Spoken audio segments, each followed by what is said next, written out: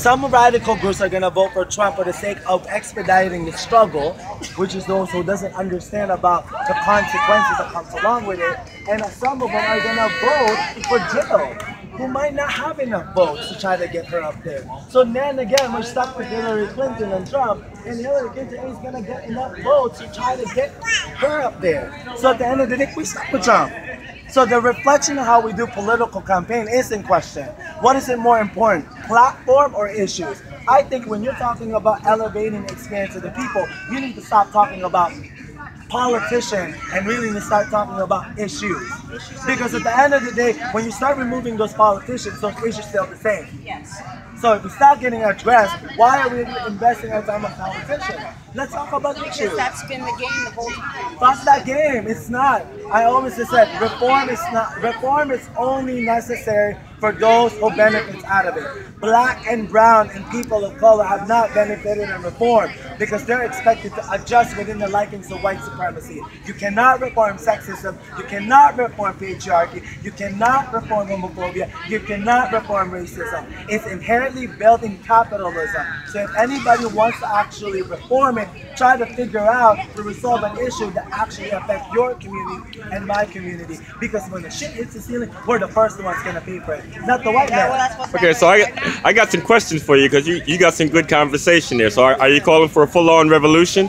I've been calling about full-on revolution in expense of taking responsibility as a person to find a way to self-sustain yourself and take responsibility and accountability to try to fix a problem that we can do. Nobody can fix the bed for you. You have to take the initiative to fold your bed at night. Okay. Nobody can do So, that. so for I you. got, I gotta ask you, I got to ask you for something else too. So, do, do you believe that we, we can reform our way to revolution? You know, Nope. you you Nope. get small reforms because for a we've while. been doing reform. Black and brown people in this country that's been marginalized by the very system has been reforming the system for a really long time. Yeah. For example, the liberties of black and brown men.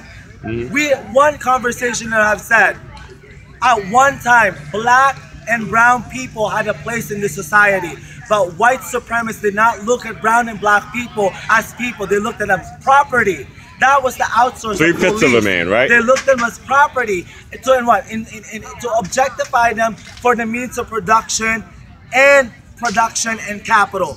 Now that we're black and brown people have the able to liberate themselves, some kind of liberate, they're finding ways to criminalize them, to put them back into means of labor and production through what industrial industrial complex through what prison industrial complex to what criminalization because it's easy to dump all black and brown bodies in a fucking prison to make them work for 50 cents an hour and strip them of their liberty. So those corporations that fund- funded every single motherfucking prison industrial complex can use that to make production for cheaper labor. Yeah. that is the reality of the game. Okay, but those uh, motherfuckers would never talk about that. Wait, well, well, you know what? What I tell people all the time though is that w- when we appeal to government for this, that, and the other thing, we're, we're appealing to the oppressor for, for relief of the oppression, and that doesn't make sense to me because you, you don't you don't go to the oppressor and ask them to Like, stop oppressing you because they're going to say no. I always say this: the system is not broken. The system is built for the way it is.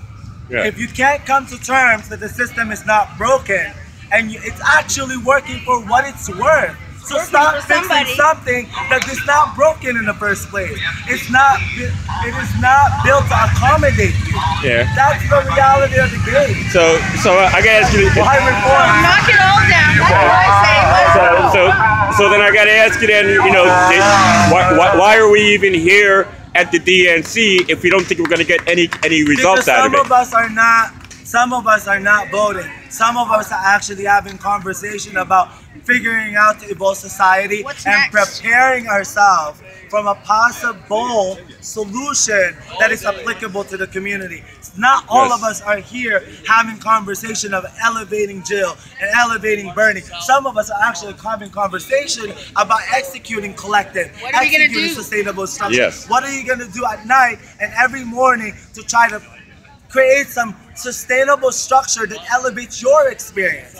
Where's the accountability? The accountability comes with the people, not with a representative. Okay, so so I got to so I got to tell you this. First of all, my, my name is Eric Sheptock. I'm a homeless advocate who lives in Washington D.C. But. I, I was at the U.S. Social Forum in Detroit in 2010. You, you know about that? you know, and, and so 20,000 activists all came together, you know, to, to try to get a sustained energy. And, uh, you know, it's, we have very little success. So do you think we're going to have any more success this time in having a sustained energy? Because it's- the thing is, it's, go ahead, go ahead, I was going to say, I jumped, what I like to say, jumped out of the system a long time ago. I'm still like saddling on the edge, but I started pulling out, I mean, a certain amount of um, luck happened. I, I ended up landing on a, a beautiful farm. And we accept people in to change the way that they are, learn how to grow food. We, I've got it's probably 12 young people between the ages of are 23 and to white 30 man at the able farm. to live prosperous and actually able hold on. white man is able to live with prosperous and freedom. Black and brown men hasn't in a really long time into this day. We had 163 black men that died here died through police harassment and police brutality and that's the reality of the game don't try to make this an inclusive space because if we want to talk about being inclusive let's talk about talking about the oppression of a black man and a black woman because at the end of the day, reality that's why we talk about black lives all lives matter black lives matter Yes, black lives do matter. I've never said that one. I've never said. but that's the problem with those people that's Yeah. talking about Okay, and so nobody wants to talk about that yeah, so so you know what what, what what you all are saying to me or saying right now rather is it reminds me of Occupy. We had the same struggle with Occupy where good white people came in and were supportive of blacks. And I, I'm adopted by white people. My my father was Polish, my mother's Italian. I'm adopted. You know, but but I want to say this though that that um you know I, I actually felt kind of badly for the white people because uh, and they, they were being told by blacks, you know, look, you let us during slavery, you let us during Jim Crow, you know, don't lead us now. And the white people were saying, look, we're all ears, we'll stop, we'll listen. You tell us what you want us to do, what you don't want us to do, yada yada yada. I've never. I've, unfortunately, it's different for me. I, I mean, yes, I, I understand that Black Lives Matter and that sort of stuff. I understand all this. I've It's kind of hard to.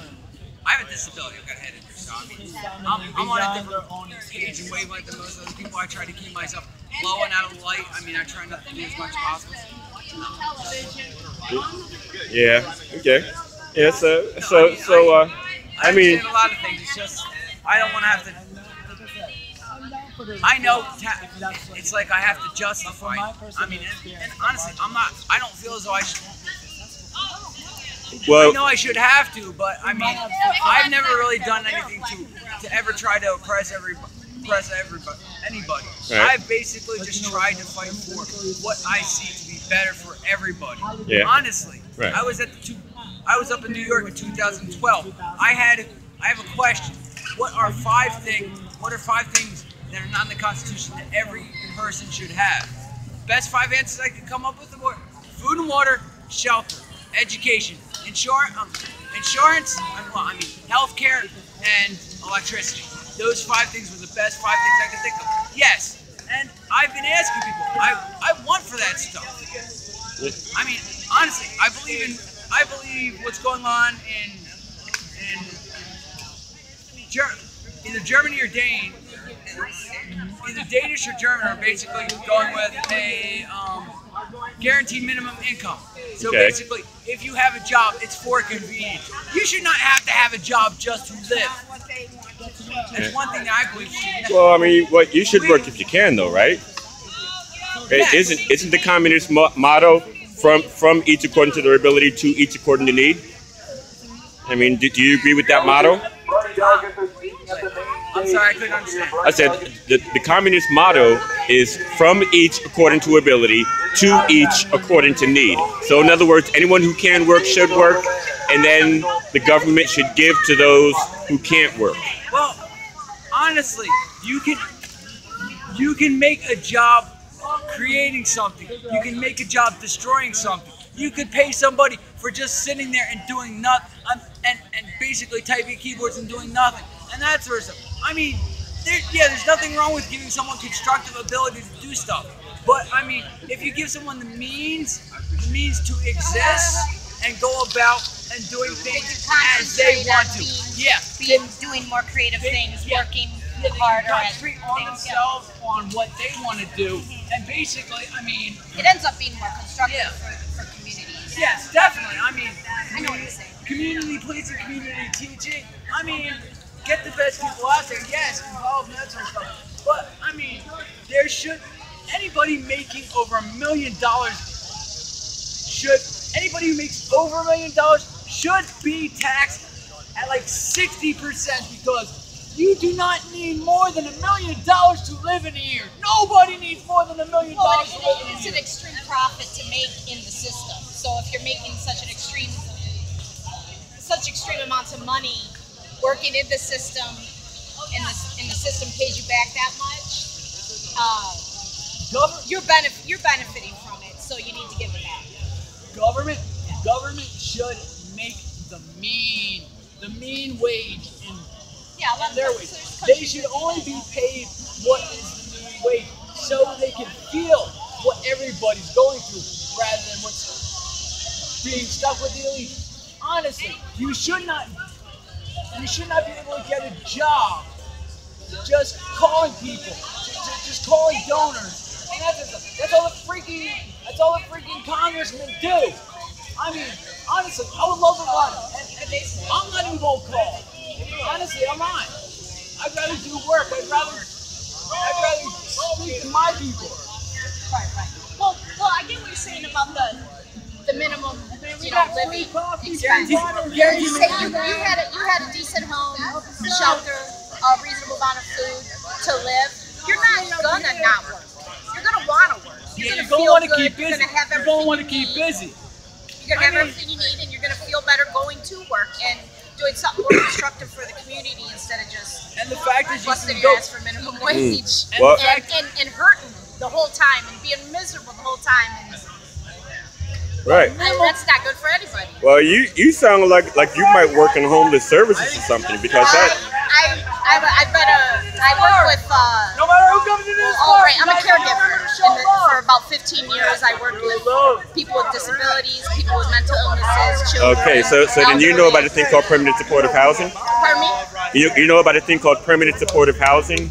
So the, the, the, the federal government has this program uh, uh, where, where they offer housing first to people with who are homeless with disabilities, physical or mental, and and, and it, it's built on what you just said. Yeah. You know, where if you get them out of the stressful environment first and into a home, that then they can deal with the other issues later on.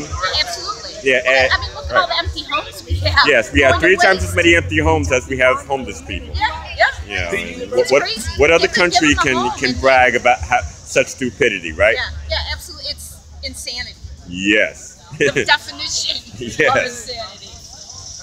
Yeah. so, do, do you think this is turning into more into more of a Woodstock hippie type thing with this tent city going on out here in FDR Park? Well, today it looks a little more like that. You know, um, yesterday didn't look too much like that. Yesterday there was all different groups.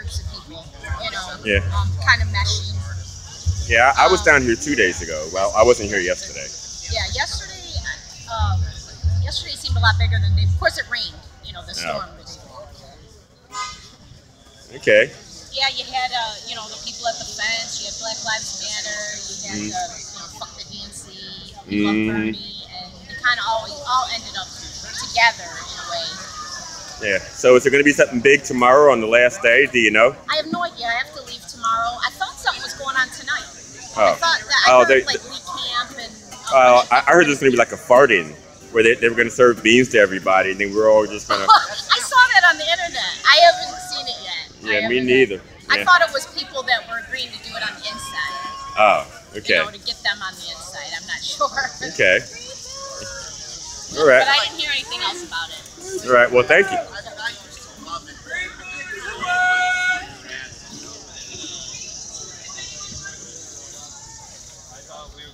What's up, fam? right here. Hey, so I sir. just figured we would get all everything we needed on the way. Yeah, I'm driving this. so I have 12 cigarettes. 12 cigarettes is. This is Eric Sheptock reporting from FDR Park in Philadelphia, just a couple blocks away from the Democratic National Convention's venue inside of the Wells Fargo Arena.